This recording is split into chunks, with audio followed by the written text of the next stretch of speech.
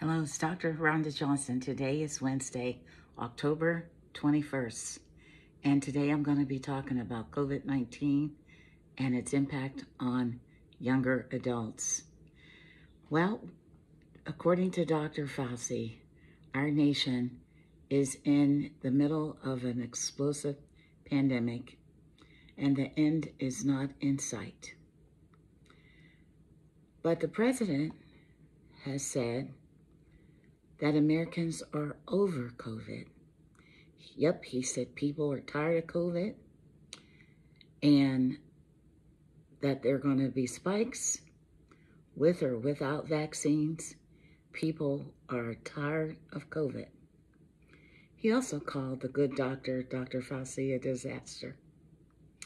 Well, again, I'm not here to criticize the president.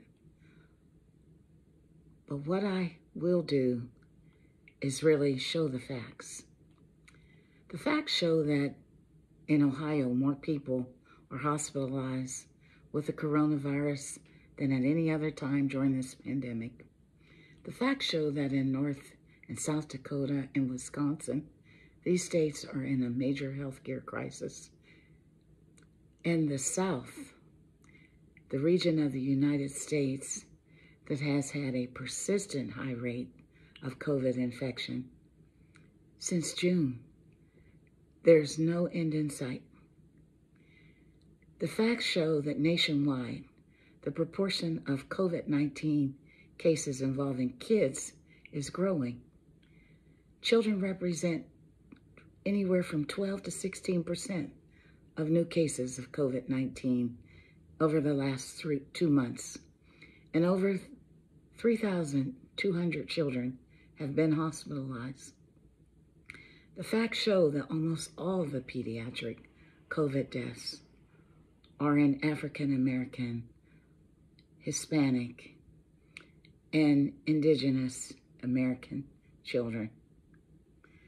And the facts are data from the CDC, which show that the COVID 19 pandemic in the United States has shifted toward younger people in the age groups of 20 to 39 years of age.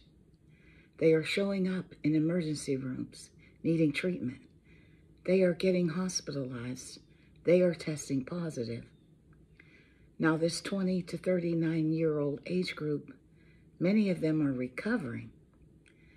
But the CDC data says that one in five persons between the ages of 18 to 34 who tested positive for COVID.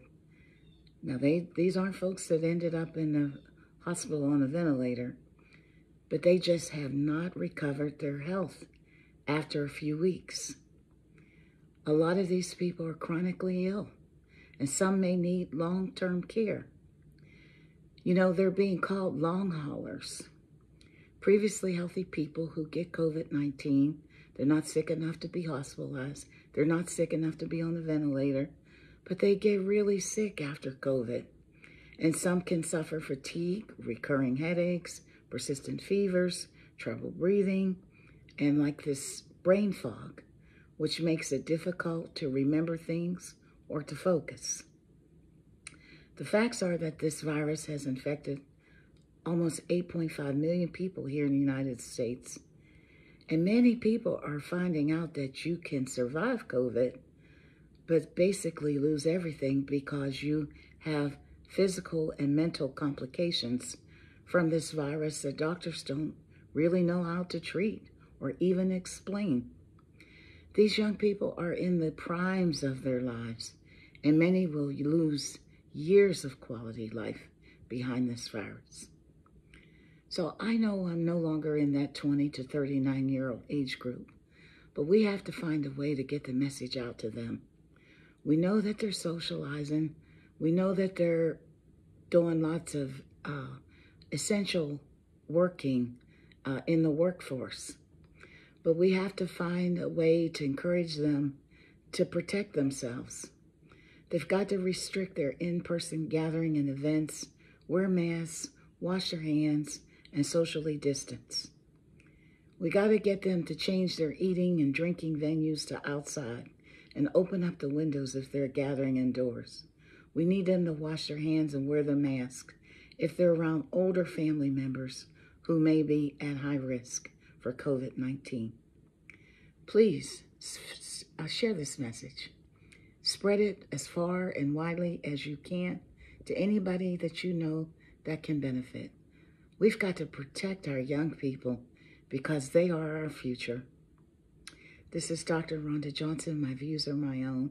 Stay safe, stay connected, stay alive. Practice the three W's. And remember, the best coronavirus infection is the one that never happens. My views are my own.